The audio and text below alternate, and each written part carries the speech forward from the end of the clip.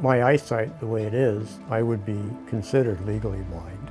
My attitude is I'm not going to let that slow me down. I'm going to live my life to the fullest, and Eyedaptic has been a big plus in letting me live my life to the fullest. I can now read, which I couldn't before, other than cumbersome magnifying glasses, and I can use the computer. It's almost as good as it used to be when I had perfect vision.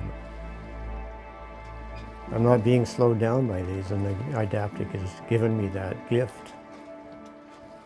Very, very happy with it.